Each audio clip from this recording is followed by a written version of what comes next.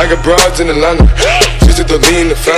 Hello friends welcome to my channel my sports opinion তো আশা করি তোমরা সকলেই ভালো আছো এবং সুস্থ আছো।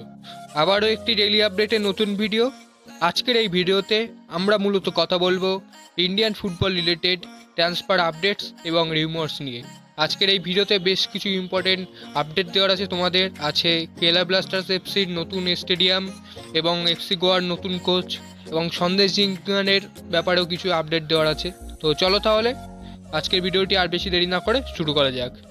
তো প্রথমে যে আপডেটটি তোমাদের দেবো, সেটি হলো এফসি গোয়ার নতুন কোচ সম্বন্ধে। তো সার্জিও লোবেরা এফসি গোয়া থেকে চলে যাওয়ার পর এফসি গোয়ার নতুন কোচ পরবর্তী সিজনের জন্য কে হবে, সেটা নিয়ে তো বহুদিন ধরে জল্পনা চলছেই। প্রথমে তো বিভিন্ন বড় বড় কোচের নাম উঠে এসেছিল। তো এখন এই মুহূর্তে শোনা যাচ্ছে জুয়ান ফার্নান্ডোর নাম। তো জুয়ান ফার্নান্ডো একজন স্প্যানিশ কোচ তার বয়স উনচল্লিশ বছর। তো তিনি তার প্রথম কোচিং ক্যারিয়ার শুরু করেন দু হাজার নয় সালে। সি প্রিমা এই ক্লাবটির হয়ে।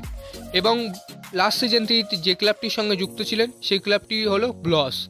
এই ব্লস ক্লাবে তিনি দায়িত্বভার গ্রহণ করেন দু হাজার সতেরো সালে এবং দু হাজার সতেরো সালে যখন তিনি এই ক্লাবটির দায়িত্বভার গ্রহণ করলেন, তখন এই ক্লাবটি কিন্তু গ্রিকের একটি থার্ড ডিভিশন লিগ খেলছিল।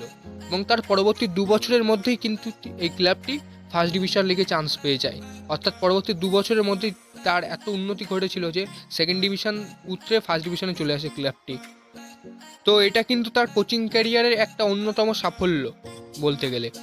আর এই কোচটি অর্থাৎ জুয়ান ফ্র্যান্ডো, মূলত ফোর টু থ্রি ওয়ান ফরমেশনে খেলাতে ভালোবাসেন। তো এই মুহূর্তে শোনা যাচ্ছে যে এফসি গোয়া এই কোচটিকে রীতিমতো কথা চালাচ্ছে এই কোচটির সঙ্গে তাদের পরবর্তী সিজনে কোচ হিসাবে আনার জন্য।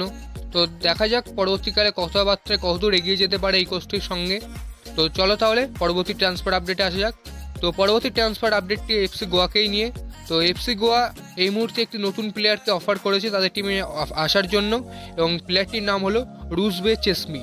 এই রুজবে চেসমি একজন ইরানিয়ান ডিফেন্ডার যার বয়স ছাব্বিশ বছর এবং হাইট কিন্তু অত্যন্ত ভালো, ছ ফুট চার ইঞ্চির মতো হাইট এই প্লেয়ারটার সে সেন্টার ব্যাক এবং ডিফেন্সিভ মিডফিল্ডার এই দুটো পজিশনে কিন্তু খেলতে পারে। এবং এই প্লেয়ারটি লাস্ট যে ক্লাবের সঙ্গে যুক্ত ছিল, সেই ক্লাবটি হলো ইস্তেগলাল। তো এই ইস্তেগলাল ক্লাবের সঙ্গে কিন্তু এই প্লেয়ারটি যুক্ত হয় দু হাজার পনেরো সালে এবং বেশ কিছু ম্যাচ খেলেছে এই ক্লাবের হয়ে। এছাড়া প্লেয়ারটি কিন্তু ইরানের under seventeen under twenty under twenty three এবং ইরানের ন্যাশনাল টিমের হয়েও প্রচুর ম্যাচ খেলেছে। ইরানের ন্যাশনাল টিমের হয়ে তার একটি গোলও আছে। এছাড়া প্লেয়ারটি কিন্তু এফসি চ্যাম্পিয়ন লিগের গ্রুপ স্টেজের ম্যাচও খেলেছে। গ্রুপ স্টেজে ম্যাচটি খেলেছে কাতারের ক্লাব আল রায়নের বিরুদ্ধে। এছাড়া এফসি এশিয়ান কাপও কিন্তু এই প্লেয়ারটি খেলেছে। অর্থাৎ বলতে গেলে কিন্তু প্লেয়ারটির মধ্যে অনেকটা এক্সপিরিয়েন্স আছে। তো যেহেতু পরবর্তী মরশুমে এফসি গোয়াতে কার্লোস পেনা থাকছে না, তো কার্লোস পেনার পরিবর্ত খেলার হিসাবে এই প্লেয়ারটির সঙ্গে কথাবার্তায় কতটা এগিয়ে নিয়ে যেতে পারে এবং যদিও পরবর্তীকালে এই প্লেয়ারটি কনফার্ম হয়ে যায়, তো এই প্লেয়ারটি কতটা দায়িত্বভার গ্রহণ করতে পারে এফসি গড় হয়ে, এখন সেটাই দেখার। তো চলো তাহলে পরবর্তী ট্রান্সফার আপডেটে আসা যাক। তো পরবর্তী ট্রান্সফার আপডেটটি হলো রাজু গাইকোয়াডকে নিয়ে। তো রাজু গাইকোয়াড একজন উনত্রিশ বছর বয়সী ডিফেন্ডার এবং যে কিন্তু লাস্ট সিজনে কেলার ব্লাস্টার্স এফসির সঙ্গে যুক্ত ছিল। এবং এই মুহূর্তে শোনা যাচ্ছে যে ইস্টবেঙ্গল কিন্তু রাজু গাইকোয়াডকে অফার করেছে তাদের টিমে আসার জন্য। এর আগেও কিন্তু রাজু গাইকোয়াড ইস্টবেঙ্গলের হয়ে খেলে গেছে। দু হাজার এগারো থেকে পনেরো সাল পর্যন্ত কিন্তু ইস্টবেঙ্গলের হয়ে খেলে গেছে রাজু গাইকোয়াড। এরপর Mumbai city, Jamshedpur FC Kerala blasters বিভিন্ন ক্লাবের হয়ে রাজু গাইকোয়াড খেলেছে। একটা অসাধারণ প্লেয়ার কিন্তু এই রাজু গাইকোয়াড। এবং ইস্টবেঙ্গল কিন্তু এই প্লেয়ারটিকে রীতিমতো অফার করেছে তাদের টিমে আসার জন্য এবং কথাবার্তাও চলছে, শোনা যাচ্ছে ইস্টবেঙ্গলের সঙ্গে প্লেয়ারটির তো এখন বাকিটা এটাই দেখার যে ইস্টবেঙ্গল কতদূর পর্যন্ত এগিয়ে যেতে পারে এই প্লেয়ারটিকে তাদের টিমে নেওয়ার ব্যাপারে। তো চলো তাহলে পরবর্তী ট্রান্সফার আপডেটে আসা যাক। তো তোমরা অনেকেই জিজ্ঞাসা করছিলে যে কিবু ভিকোনা কত বছরের জন্য কেলার ব্লাস্টার্স এফসিতে কনফার্ম হয়েছে। তো সম্ভবত কিবু ভিকোনা দু বছরের জন্য কেলার ব্লাস্টার্স এফসিতে গেছে। তো চলো তাহলে, পরবর্তী আপডেটে আসা যাক। তো পরবর্তী আপডেটটি হলো কেলার ব্লাস্টার্স এফসিকে নিয়ে। তো তোমাদের গতকালের ভিডিওটা বলেছিলাম যে কেলার ব্লাস্টার্স এফসি কিন্তু রেড স্টার বেলগেডের সঙ্গে কথাবার্তা চালাচ্ছে তাদের নতুন ইনভেস্টরের জন্য। তো এই মুহূর্তে আরও একটা আপডেট বেরিয়ে আসছে যে রেড স্টার ব্রিগেডের সঙ্গে যদি ক্লাব ব্লাস্টার্স এফসির চুক্তিপত্র কনফার্ম হয়ে যায়, তো ক্লাব ব্লাস্টার্স এফসি কিন্তু তাদের ক্লাবের জন্য একটা নিজস্ব স্টেডিয়াম করতে পারে।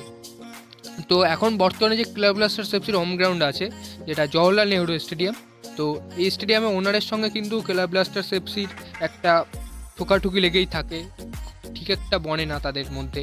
তো সেই জন্য কেরালা ব্লাস্টার্স এফসি চাইছে যে তাদের একটা নিজস্ব স্টেডিয়াম গড়ে তুলতে ফিফার নিয়ম অনুযায়ী।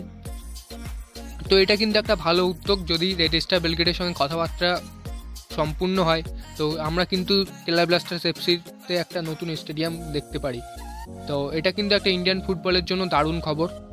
তো চলো তাহলে, আজকে লাস্ট ট্রান্সফার আপডেটে আসা যাক তো এই মুহূর্তে একটা রিউমার শোনা যাচ্ছে সন্দেশ জিঙ্গানকে নিয়ে। তো শোনা যাচ্ছে যে ছাব্বিশ বছর বয়সী এই সেন্টার ব্যাককে কিন্তু ইস্টবেঙ্গল ইন্টারেস্ট প্রকাশ করেছে তাদের টিমে নেওয়ার জন্য। তো শুধুমাত্র ইন্টারেস্টই প্রকাশ করেছে ইস্টবেঙ্গল তাদের টিমে নেওয়ার ব্যাপারে। কোনো রকম অফার করা হয়নি সন্দেশ জিঙ্গানকে ইস্টবেঙ্গলের তরফ থেকে। তো সন্দেশ জিঙ্গান কিন্তু ক্লাব ব্লাস্টার্স এফসির সঙ্গে, অর্থাৎ লাস্ট যে ক্লাবের সঙ্গে যুক্ত ছিলেন। লাস্ট সিজন হয়তো খেলতে পারেনি ক্লাব ব্লাস্টার্স এফসির হয়ে চোটের কারণে কিন্তু গত আইএসএল মৌসুমে সন্দেশ জিঙ্গান পুরোপুরি আইএসএল এ খেলতে পারেনি একটাও ম্যাচ তো কেরালা ব্লাস্টার্স এফসির সঙ্গে কিন্তু এমনিতেও সন্দেশ জিঙ্গানের দু সাল পর্যন্ত চুক্তি আছে। তো যদি ইস্টবেঙ্গল তাকে নিতে চায়, তো তাকে কিন্তু একটা বড় অ্যামাউন্ট অর্থাৎ ট্রান্সফার ফি দিয়ে কিন্তু ইস্টবেঙ্গলকে নিতে হবে, জয়ন্দেশ সিংহানকে তো এটা কিন্তু ইস্টবেঙ্গলের কাছে খুবই কঠিন ব্যাপার। তো দেখা যাক ইস্টবেঙ্গল কতটা কি করতে পারে, তাকে অফার করে কি? যেহেতু একটা ইন্টারেস্ট প্রকাশ করেছে সন্দেশ সিংহানকে নেওয়ার ব্যাপারে। তো আজকের ভিডিও আপাতত এই পর্যন্তই। আর বেশি তেমন কিছু আপডেট দেওয়ার নেই আজকের এই ভিডিওতে। যদি ভিডিওটি ভালো লেগে থাকে, তাহলে অবশ্যই ভিডিওটিকে একটি লাইক করো। আর যদি তোমরা চ্যানেলে নতুন হয়ে থাকো, তো চ্যানেলটিকে অবশ্যই সাবস্ক্রাইব করো। আর ভিডিওটি তোমাদের বন্ধুদের মাঝে শেয়ার করে দিও। তো চলো, টাটা বাই